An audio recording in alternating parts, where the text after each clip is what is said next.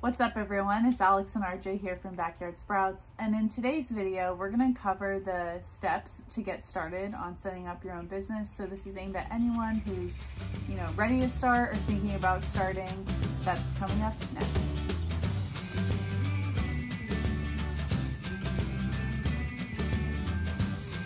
Alright everyone, so the first thing obviously you need to do once you have your business idea is to come up with a business name. And we definitely recommend that the first thing you do is go check it out and see if it's available on a domain. And you have a really good website for that. Yeah, right? it's called Namecheck, and I'll leave the we'll leave the URL down below.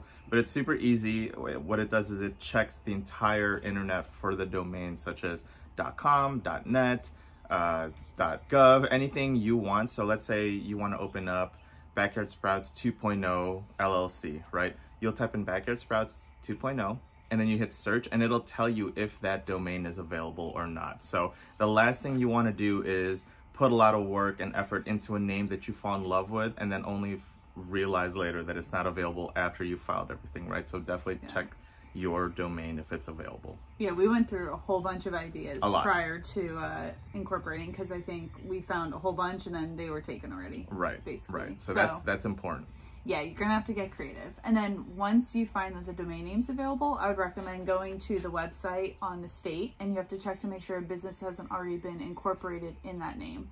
So uh, North Carolina actually has like a search engine tool that you can go to. I assume most states probably have the same thing and double check to make sure that it's available there. But if it is, I'd recommend then going back and snagging those domain names uh, right away so you have them. Once you have figured out that your names are available, that's super exciting. Now it's time to make you official. So this is where I'm just gonna say your mileage may vary, right? Because depending on state to state, different states require you to do certain things to file and create a business. So this is something that is with North Carolina. So it might look similar or might be completely different, but from us, once we figured out our name, all you have to do is go to the North Carolina Secretary of State website and then you just search for Articles of Organization. And the Articles of Organization gives your business structure in the state, in the eyes of the state. And there's a cost to that. It is just $125. And once you file your Articles of Organization with the state for $125, that process can take anywhere between 24 to 72 hours for the approval. Just depends on how backed up they are. It's super easy. Once you get approved or denied, you'll receive an email stating if you're approved or denied. If you're denied, it will tell you why and what to fix.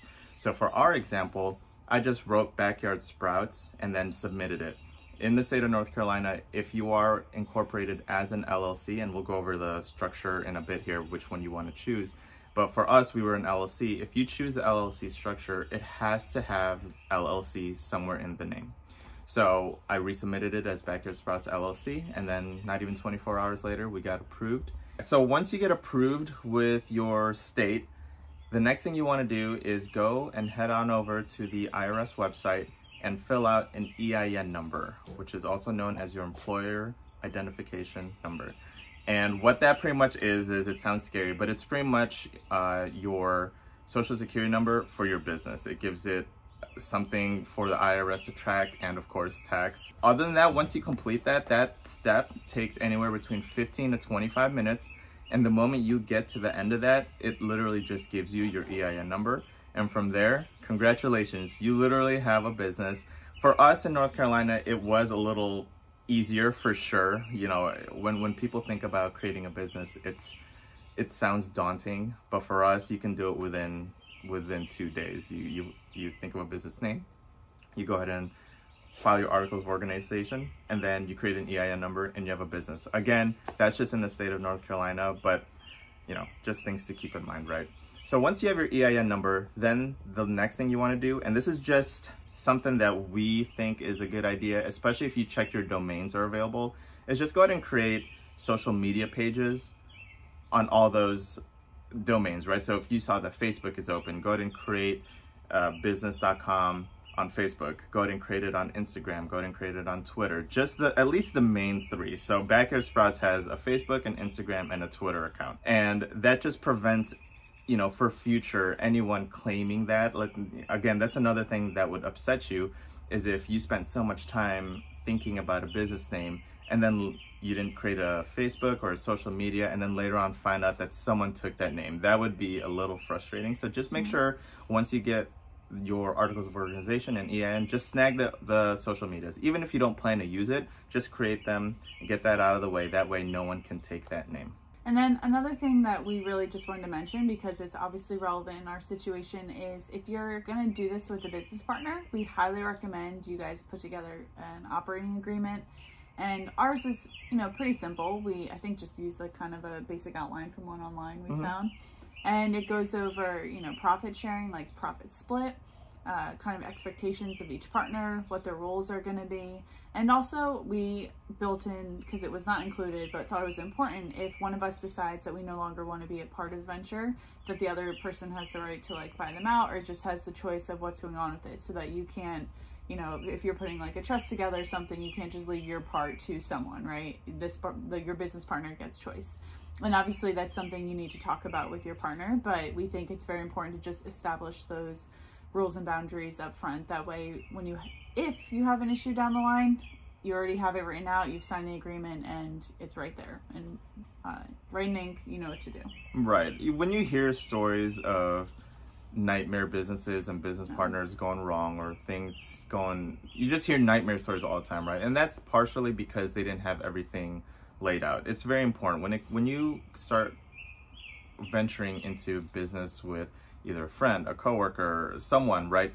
You have to lay everything down, whether you want to or not, whether you trust a person or not. It's just, it makes things easier from the start all the way to the end, like Alex says, if it decides that it didn't work out and someone wants to leave or you have to split the business, it's all written out. There's no more confusion or there's no more, hey, I thought we were going to do this. It, it, it takes all that out and that's something super important when you are creating a business structure. You just want to make sure everyone's I's and T's are dotted and crossed. Yeah.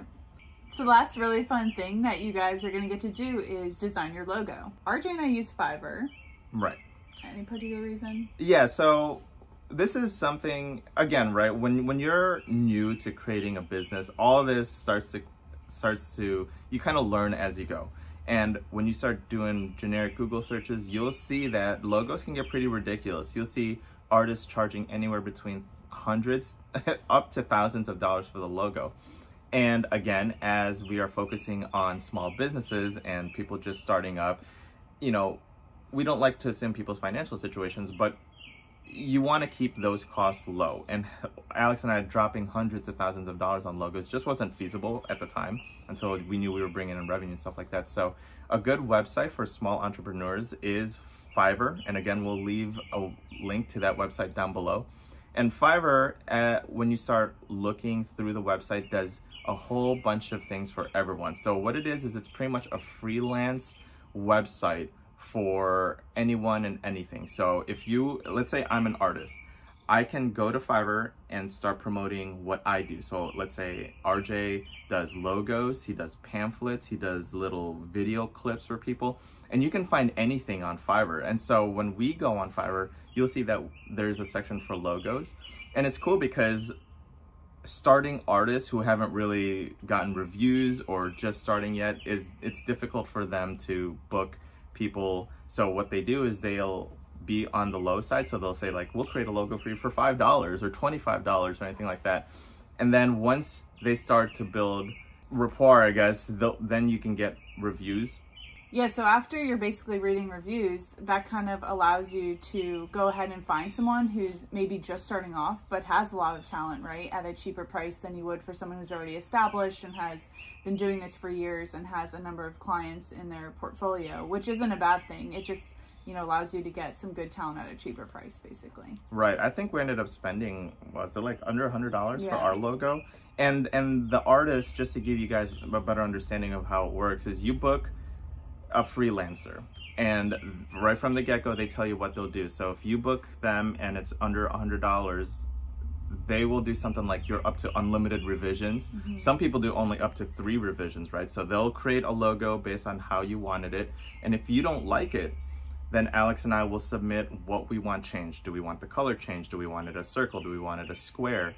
And then he'll go out and do the revisions and then he'll resubmit it and then Alex and I will review it and then if we like it then we can go ahead and approve it and he'll give us the files And if we want more revisions, then we just keep submitting it back to them until it's something that you're content with, right? Yeah. But once you have that file, congratulations, you pretty much got yourself a logo. That's the fun stuff. You know, once you've once you've gotten all of the corporate legalities out of the way, like your articles of organization, your mm-hmm. EIN number, then you can start really moving on to the fun stuff like the logos and if you want to create pamphlets and stuff like that the social media pages and once you have your logo that's when it gets exciting because all the social media pages you created congratulations i can upload your logo and now you're pretty much legit Hey guys, we hope you enjoyed that video. If you have any questions or comments, drop them below. We're also going to include some of the links to stuff we discussed in this video in the description.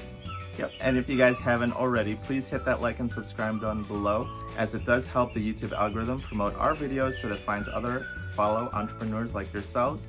And we will see you guys next time.